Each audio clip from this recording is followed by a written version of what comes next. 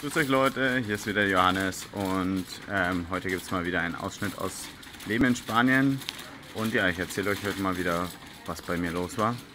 Und zwar in der Früh habe ich mich um meinen Job gekümmert und ich will hier in Spanien eine Firma gründen. Ähm, und um das Ganze möglich zu machen, muss ich so einige Auflagen erfüllen. Das ist ein bisschen schwierig. Und ich bin jetzt schon seit drei Monaten da dran, diese Firma zu gründen. Und ja, als erstes war ich beim Rathaus, die haben mich dann weitergeschickt zum nächsten, zu, zur Firmengründungsabteilung sozusagen vom Rathaus.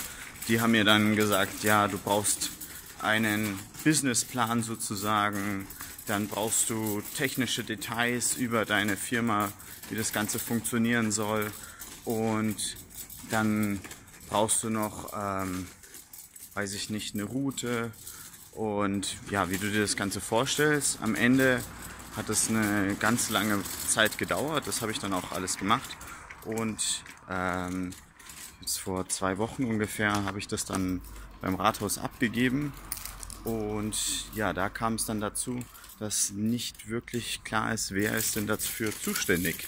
Wer ist denn zuständig eigentlich, um meine Firma sozusagen zu, zu bearbeiten, ähm, weil es unter anderem um ein Verkehrsmittel auf der Straße geht und ja, irgendwie weiß nicht jeder richtig, wer zuständig ist. Ist jetzt die Touristbüro, das Touristbüro zuständig, das Straßenamt, die Straßenverwaltung oder keine Ahnung, irgendwie die Firmengründungsabteilung zuständig.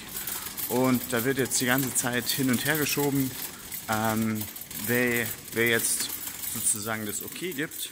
Und heute früh eben war ich mal wieder bei einem von diesen fünf Ämtern, die da möglicherweise zuständig sein könnten. Und da kam es dann raus, dass ich jetzt am Donnerstag zur lokalen Polizei gehen muss. Es gibt anscheinend zwei unterschiedliche Polizeistationen.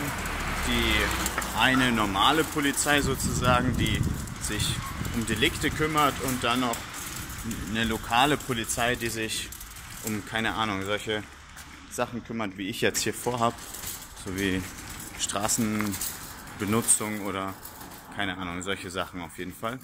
Nun ja, das war der erste Teil des Tages, den habe ich gut überstanden und danach ging es typisch hier in Spanien zur Family und Mittagessen mit der Fam.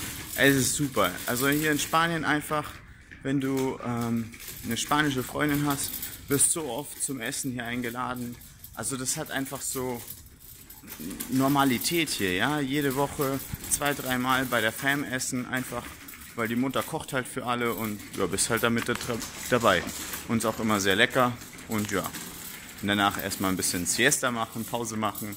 Ich meine, ist ja klar hier mit mindestens 33 Grad oder noch mehr mittags, da ruht man sich lieber aus ja, gesagt, getan. Und jetzt bin ich voll erschrocken.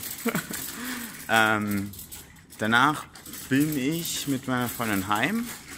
Und ja, am Abend jetzt gerade eben war ich in der neuen Wohnung und habe jetzt mal äh, vier Stunden lang Möbel aufgebaut. So einen riesigen Ikea-Schrank und noch andere Möbel dazu. Und bin jetzt froh, dass ich fertig bin. Gehe gerade heim. Und das war's auch von heute. Ich habe noch einen Anhang. Ja, beim letzten Video hat mich jemand gefragt, wie es denn funktioniert mit Wohnungskaufen hier in Spanien. Ich muss ehrlich sagen, ich habe mich noch nicht drum gekümmert, aber ähm, lieben Gruß an dich.